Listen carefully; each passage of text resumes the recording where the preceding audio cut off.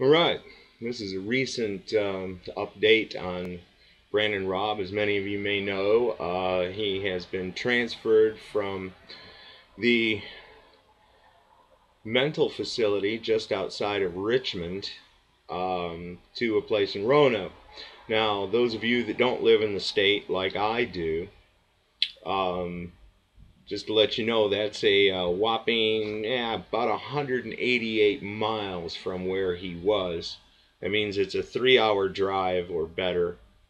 And if anybody's ever driven through Richmond in that area, it's probably longer than that because it's a it's a fucked up city.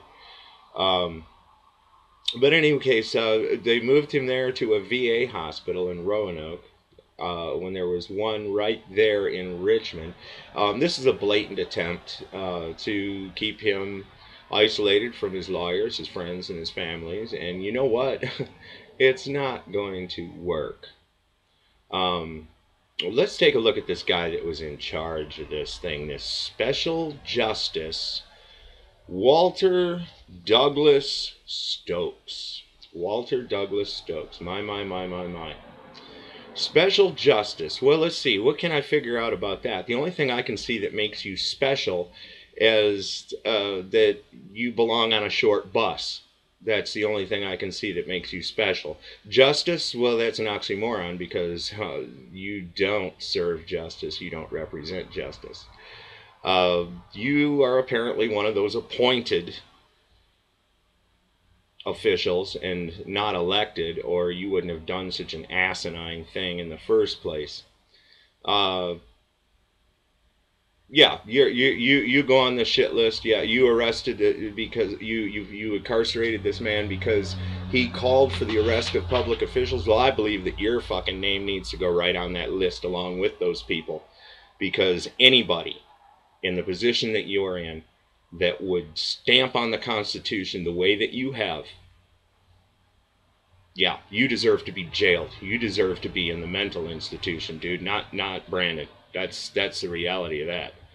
You think that people that love their country are crazy? You think that people that love the Constitution and stand up for it are crazy? Well, guess what?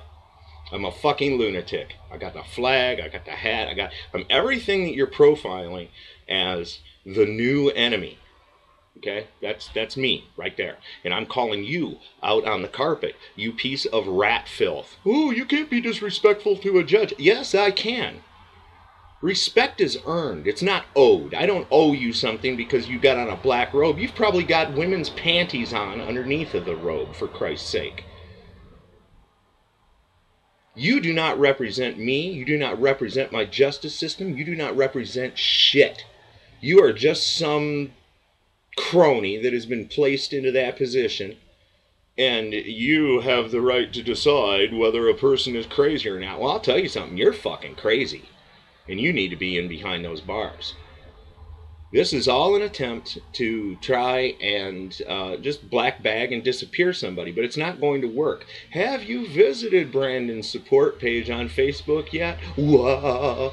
Yeah, a lot of eyes on you, asshole. So, uh, you know, if us people that really agree with this are crazy, then uh, you're to have to build a big uh, detention center. Oh, wait, you're doing that, aren't you, at the FEMA camps and shit? Well, that's okay. We'll see you when that day comes, okay?